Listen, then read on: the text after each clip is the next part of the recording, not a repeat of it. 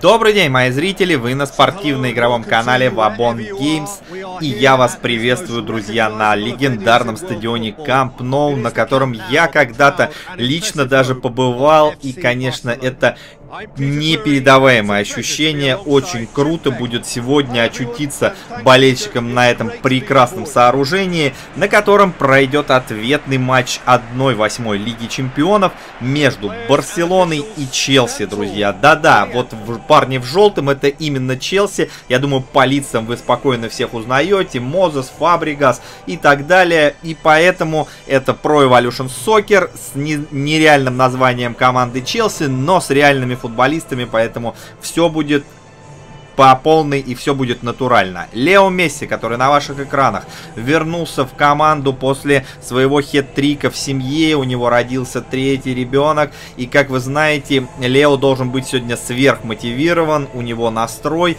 у него всегда хорошая физическая форма, более-менее, поэтому все должно быть для Барселоны нормально. Они в стадии фаворита, они сыграли 1-1 на Стэнфорд-Бридж, и, конечно же, у Челси сегодня много проблем из-за этого. Вообще у Челси много проблем из-за того, что они э, лихорадят эту команду в течение сезона, они то неплохо играют, то очень ужасно, и, конечно, Конте, скорее всего, распрощается со своим постом уже по окончанию этого сезона, но при этом Челси может поставить поставить все-таки на верхушку, если сегодня не получится игра с Барселоной, э, чемпионат, в котором нужно закрепиться за новый сезон Лиги Чемпионов и попасть на него напрямую. Так что не знаю, насколько сегодня вот Вильям и его команда будут мотивированы. Я боюсь, что будут большущие проблемы у Челси для того, чтобы пройти Барсу. Плюс еще нужно не забывать, что э, Барселона может и в ничью сыграть нулевую, хотя вряд ли она это сделает. В последнем матче в последнем матче против Малаги Барселона минимальными просто силами одолела эту команду, причем без Лионеля. Вот. Ну и в матче против Атлетика Барса также играла очень уверенно, показав, что можно прикладывать немного усилий в атаке, но при этом у них есть супер исполнитель, который все-таки один или два своих момента в любом случае реализует. А вот главное не давать ничего сделать сопернику. Посмотрим, какую тактику на сегодня выберет Барселона. Огромное подозрение, что этот матч не получится голевым, так как у Барселоны, я уже рассказал, есть уже определенная выработанная схема, как тратить немного сил, но при этом добиваться нужного результата. Ну а насколько Челси сможет что-либо этому противостоять, мы, конечно, увидим. Но вот как по мне, больше трех голов в сегодняшней встрече мы забитых не увидим. Контратака Челси, ух ты, посмотрите, Алонзо, защитник выходит один на один, даже вдвоем против одного и гол, вот так вот. Вот так вот Челси в контратаке забивает и делает, естественно, это Азар. Две десятки сегодня сойдутся на поле, Азар против Месси. И все может, конечно, быть. Азар тут сам мог убежать, но отдал передачу, но потом Алонсо ему ее благополучно вернул. 1-0 впереди гости. Ой, какой момент! Суарес и мяч в воротах! Как так Куртуа не дотянулся до этого мяча и Луис Суарес в падении головой его направляет в ворота. Барселона быстро отыгрывается. И опять это порно. Я думаю, те, кто видел прошлое видео, все понимают.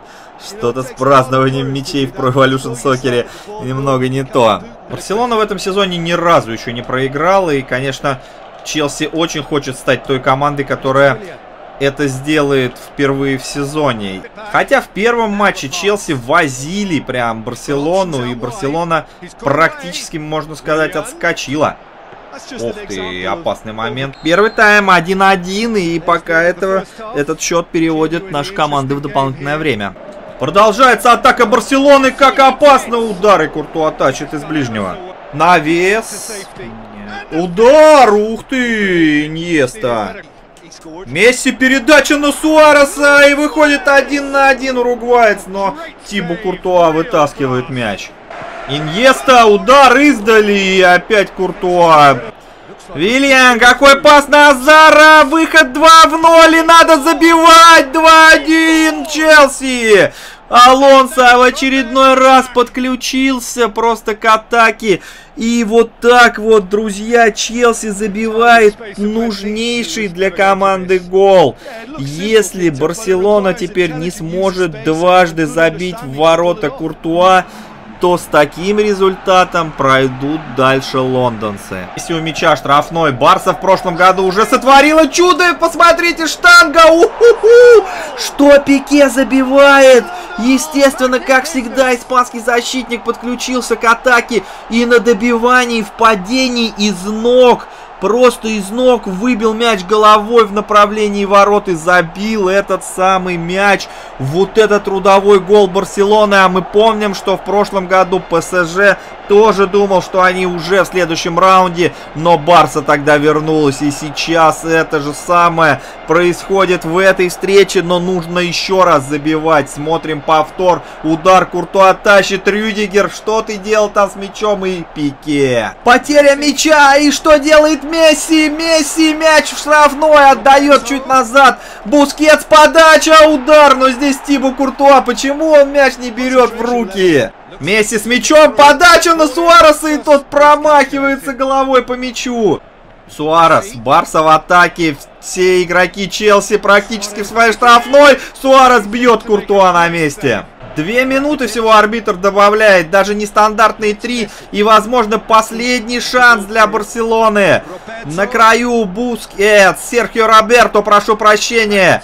Ракитич Ваня ищет, ищет передачи партнера. И что будет делать? Отдает на Паулиньо. Бразилец опять на край. Барса пытается улучшить, но не получается. Вот так, друзья. 2-2. Встреча заканчивается.